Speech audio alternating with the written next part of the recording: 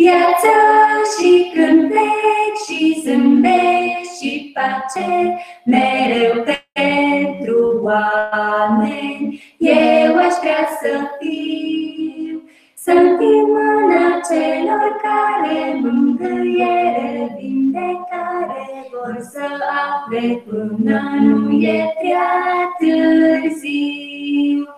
Cine să meargă solia cerească, la tot să vestească, Bine iar Iisus, ne vom duce toți cei care mângâiere, vindecare, am găsit la Domnul nostru scump Iisus. Toți care sunteți online, vă spun bine ați venit pe site-ul nostru și sper, sper cât de curând să pot spune iarăși bine ați venit la noi în Voiteg. Dar până atunci ne întâlnim online și mulțumim lui Dumnezeu pentru această ocazie. Dar înainte de a continua, haideți să închidem ochii și să ne rugăm. Doamne Iisuse, te rugăm să ne vorbești Tu prin cuvântul Tău și să ne dai harul să ne poți atinge Tu inimile noastre. Altfel trecem prin această viață într-o indiferență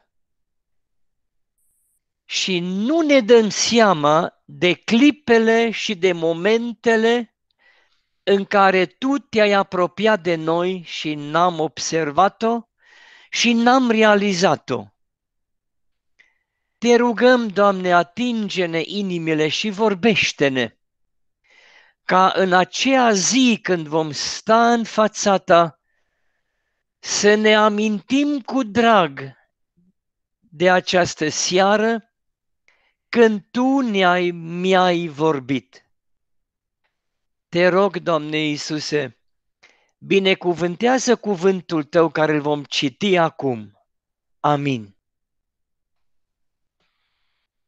Eu nu văd nimic, sper să vedeți voi ceva, măcar să auziți. Vă voi citi un cuvânt din Cartea Psalmilor, cel mai lung psalm din Biblie, Psalmul 119. Citesc primele patru versete și versetul 9. Ferice de cei fără prihană în calea lor. Adică ferice de cei fără păcat în calea lor, care umblă în totdeauna după legea Domnului.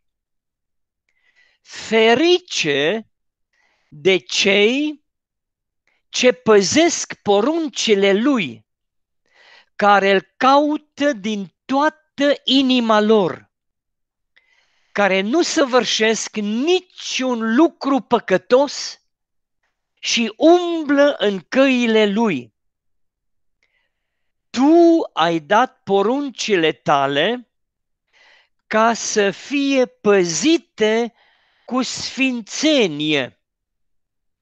Sărim la versetul 9.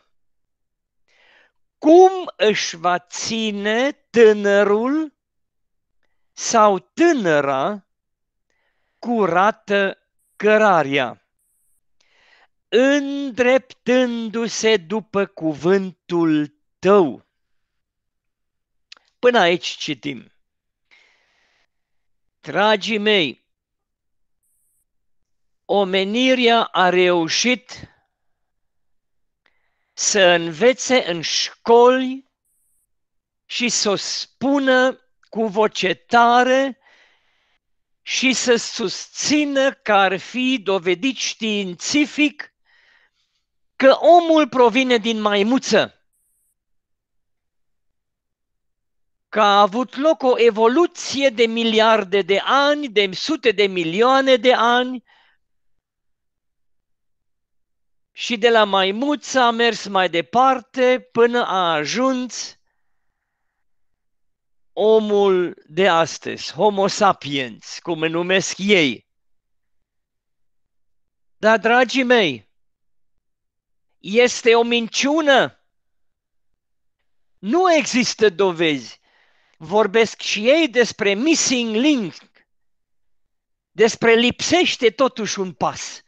Ca să dovedești, lipsește ceva. Dar pentru că noi așa vrem că omul provine de la maimuță, o susținem. Dragii mei, tu ești creat de Dumnezeu. Eu sunt creat de Dumnezeu. Dumnezeu a creat pe un om, în ebraică om se spune Adama. De aceea noi spunem astăzi că numele primului om a fost Adam. El a fost primul om creat de Dumnezeu, făcut de Dumnezeu. De ce nu mai vrea omul de astăzi să creadă că este creat? Știți de ce? Pentru că vrea să fie liber. Să nu îi se mai îngrădească libertatea. Să poate să facă ce vrea el. Asta e filozofia omului de astăzi și se mai și numește modern. Eu nu-l numesc modern, îl numesc de căzut. Dacă vrei să fii modern, tinere și tânără fată, dacă vrei să fii modern, dacă vrei într-o zi să stai cu capul sus, mândru că ești băiat, mândră că ești fată, atunci doar dacă îți dai seama Ești creat de Dumnezeu și pentru că El te-a făcut, ți-a dat niște legi, niște porunci, ți-a dat o îngrădire pe calea ta. El vrea să te ferească de ce este rău, de ce îți va face, îți va face rău. Dar omenirea vrea să fie liberă. Filosofia ei este fac ce vreau, fac ce îmi place, trupul este al meu, dar vedeți, viața seamănă foarte mult cu circulația cu mașinile. Ia imaginați-vă că într-o zi spunem, domnule, să se termine cu permisul ăsta. Ai bani, îți cumperi o mașină, știi să dai gaz, nu ești sigur că prinzi frâna sau nu, dar nu contează, important e că știu să dau gaz, că se învârt roțile, haideți să dăm drumul. Nu, dragii mei, sunt sute de milioane, eu cred că sunt miliarde de mașini pe planeta aceasta și de n-ar fi reguli de circulație, ar fi un haos, ar fi un câmp de bătălie șoselele lumii, plin de morți și răniți. Nu, există niște legi de circulație. În aceste legi de circulație există un semn roșu unde scrie pe alb stop, când apare semnul stop, că vrei, că nu vrei, că îți place să-ți dai gaz, ți-ai dori să mergi înainte, trebuie să te oprești. Că semnul spune stop. Dacă ajungi la un triunghi cu marginea roșie înseamnă oprește, cedează trecerea când vine altă mașină, pentru că drumul tău nu are prioritate, celălalt are prioritate. Vedeți? există sens giratoriu care își are și el legile sale. Există trecere de pietoni, o, dragii mei, dar în primul și în primul rând trebuie să ai un permis de conducere. Ăla trebuie făcut după ce cunoști legile de, de circulație atunci vei putea circula. Circul fără permis. E posibil? Sigur că e posibil. Problema e dacă te prinde. E o amendă, nu mică, nu mică, și dacă ești obraznic, te gândești, mă doare în cot, poate să-mi dea amendă, tata plătește, mama plătește, mâine merg iarăși, fără permis. Atenție, pasul următor e caz penal. Atunci ai încurcat-o rău. Vedeți, viața noastră seamănă cu circulația pe șosele? Dumnezeu te-a creat, că o crezi că nu o crezi. El te-a creat. El m-a creat și într-o zi stăm în fața Lui.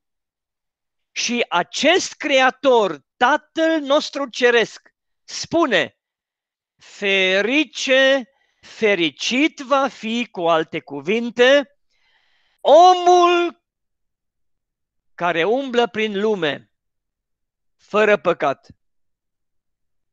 El nu umblă fără permis.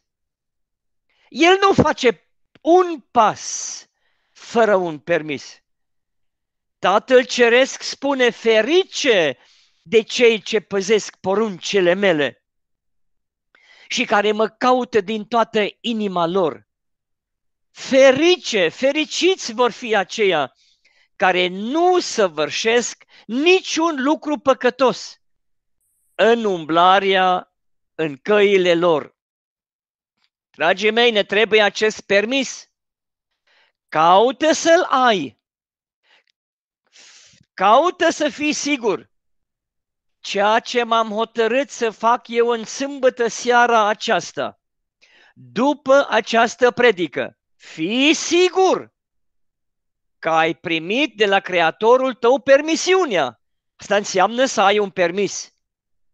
Dacă vei face ce El nu ți-a permis, și îți spun ceva, dacă vei îndrăzni să faci ceva în seara aceasta, ceea ce Creatorul tău nu ți-ar permite, o vei simți, o vei ști. Dar dacă totuși o vei face, ai să vezi că vei fi sancționat.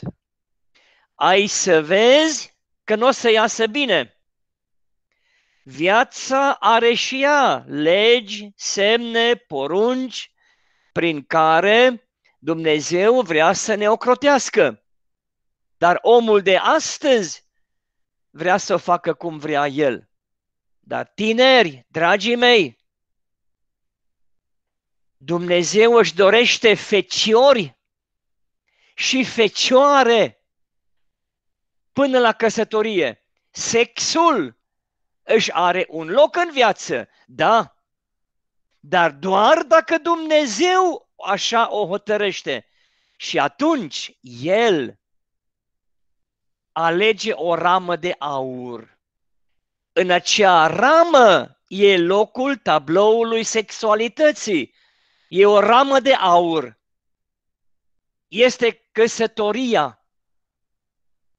Dar diavolul, el vine și îți spune că nu chiar așa, că poți să faci ce vrei. Nu vezi că toți o fac? Da, uite-te astăzi. O vreme măcar puteai spune până la 18 ani mai găseai fecioare și feciori. După o vreme, la 16 ani abia ai mai găsit. Astăzi, la 12 ani, deja sunt băieți și fete mutilați mutilați trupește și psihic, pentru că s-au jucat cu murdării. Nu te mira, fată, nu te mira, băiatule. Dacă tu te joci, conduci vehicolul vieții tale fără permis, fără permisiunea de sus, ce tată vei fi tu odată? Ce mamă vei fi tu odată? Hai să-ți spun eu, n-ai să fii nicio mamă, n-ai să fii niciun tată, nu o să ai vreodată un caracter, nu o să ai vreodată un psihic puternic, bine dezvoltat, un tată și o mamă care va forma o casă fără ceartă, fără tensiuni. Uitați-vă astăzi, s-ar putea coști bine, cum arată o căsnicie unde cearta este invitatul zilnic în casă. Mulți tineri pleacă din casele părintești din cauza certurilor între tată și mamă.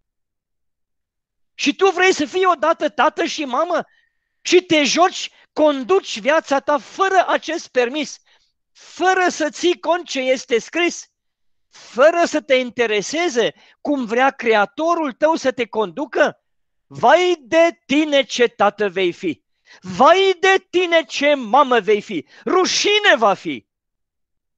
Și vai de copii, dacă odată chiar o să ai copii. Dar, dragii mei tineri, nu, e diavolul care învață asta. E diavolul care vrea să-ți spună toți o fac, fă-o și tu.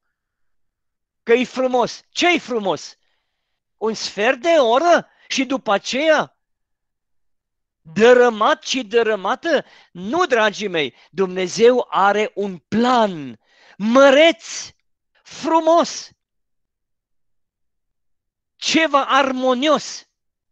Dar ce groaznic este când copiii fug de acasă, că în casă tata și mama n-au caracter, nu-l au, pentru că probabil și ei au condus fără permis. Dragii mei tineri, caută să faci permisul. Dacă ai căzut deja, tinere, dacă ai păcătuit deja, există o cale de întoarcere. Asta e diferența între umblarea cu Dumnezeu și permisul de conducere pe șosele. La permisul de conducere pe șosele te-a prins odată, te-a pălit. Te-a prins a doua oară, caz penal. Și atunci, în, următoarele, în următorii cinci ani, nu mai faci firmă, nu mai faci nimic. Vrei să mergi la poliție să scoți un, ca, cum se spune, cazier judiciar, nu-l scoți, că e pătat. Altfel la Dumnezeul nostru. Ai căzut deja? Fată, ți-ai mângit ochii? Chiar trupul? Deja atins? Mângit? Feciorule, nu mai ești fecior în ochi, în minte, în inimă, în trup? Oh, vină la Dumnezeu și îți dau un sfat. Mă caută un om de Dumnezeu care știi, știi că umblă cu Dumnezeu, mărturisește-i totul. El te iartă, El te spală, te curățește, face totul nou, îți dă un permis cum niciodată n-ai avut și va face din tine un caracter nobil va pune în tine un duh înalt, un duh ceresc. Va face din tine un tată și o mamă.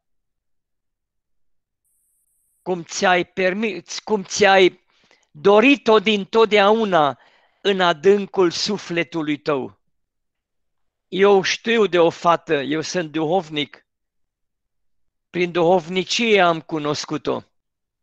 O fată foarte prețioasă. O, ce prețioasă! Ce prețioase au fost clipele când venea să-și mărturisească păcatele, să aducă la lumină ce trebuia adus la lumină. A mărturisit totul. Puteai vedea cum Domnul a schimbat-o.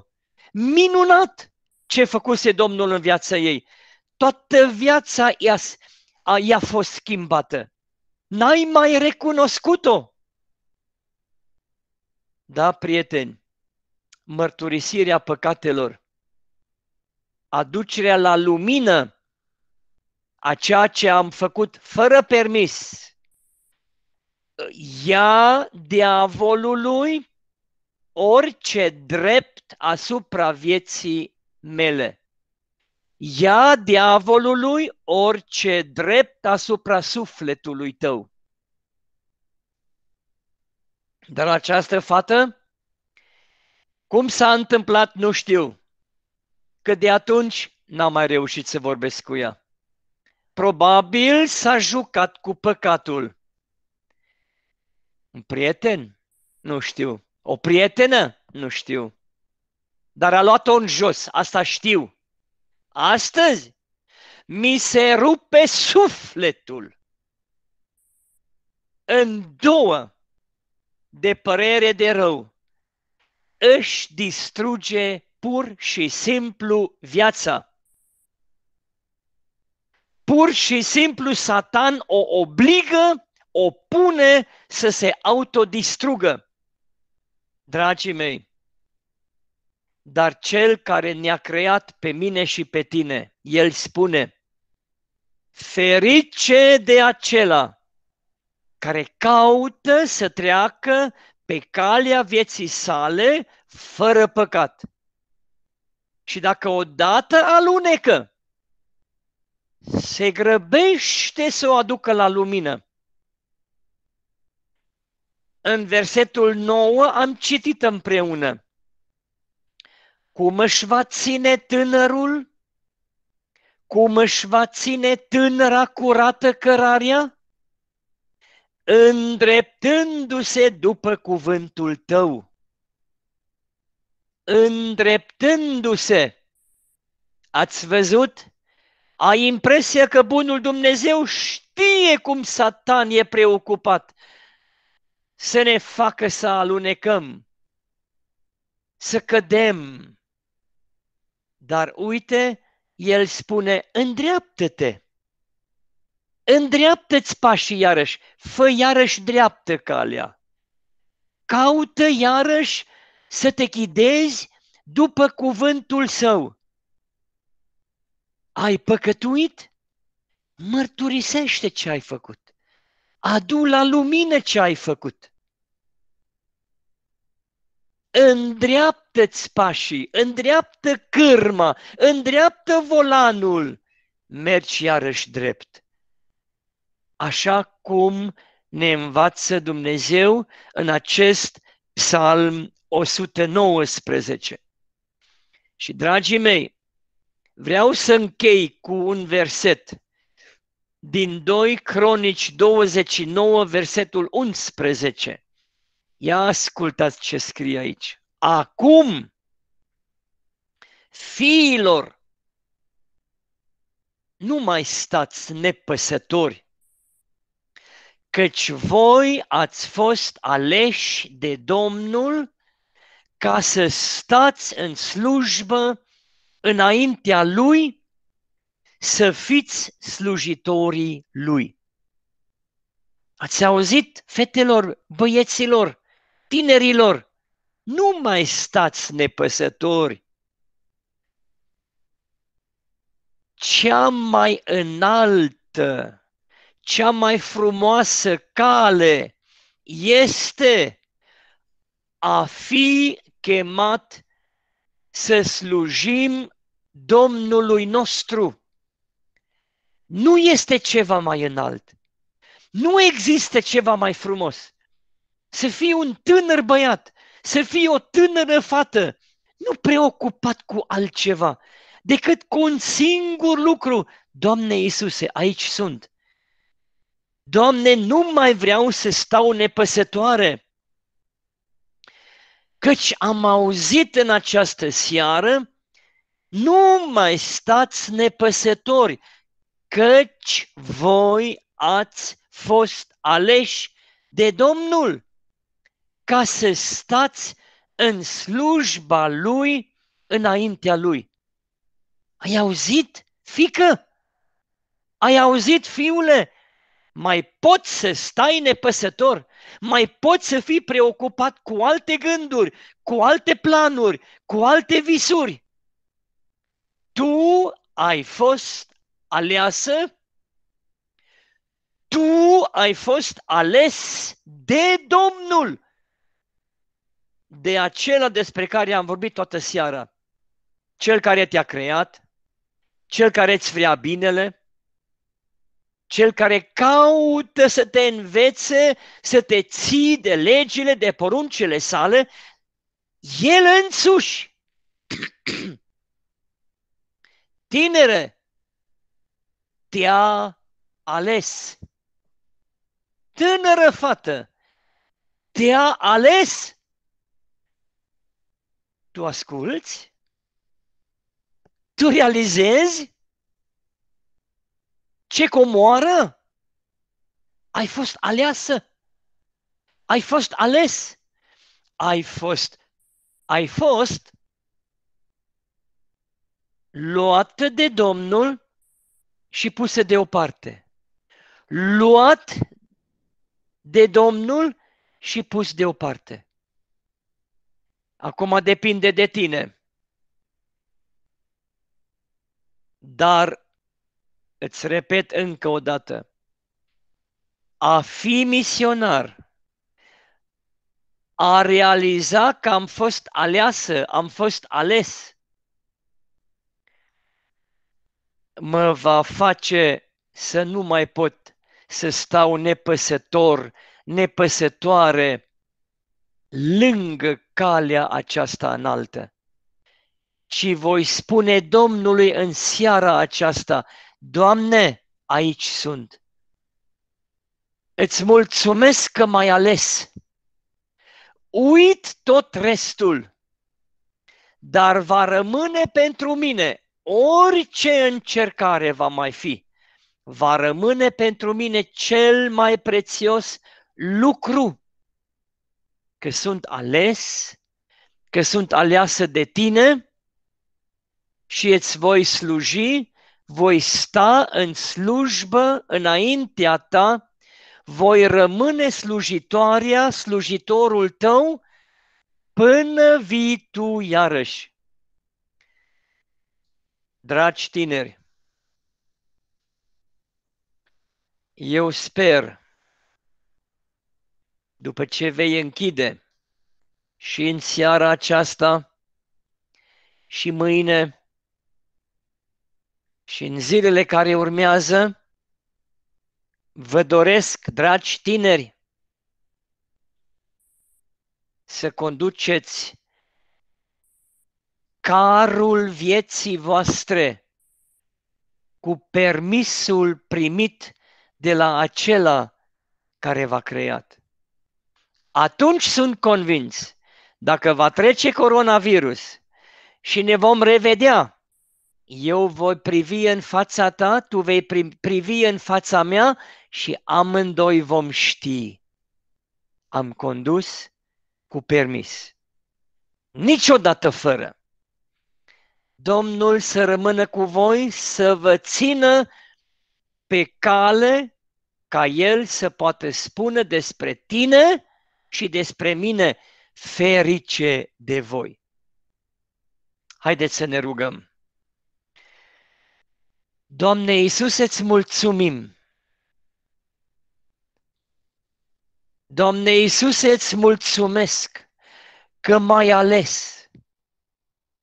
O, Doamne, iarăși mă cutremură, îmi trec fiorii de bucurie. Nu pot să o cuprind cu mintea mea, că te-ai aplecat și mai ales. Atunci să mai pot sta nepăsător, ferește-mă, Doamne, de așa o prostie. Vreau să-ți slujesc, vreau să stau la dispoziția ta până vii tu iarăși. Și te rog, Doamne Iisuse, dă har la cât mai mulți tineri la cât mai multe tinere să stea la dispoziția ta până vii tu iarăși. Amin. Domnul să fie cu voi.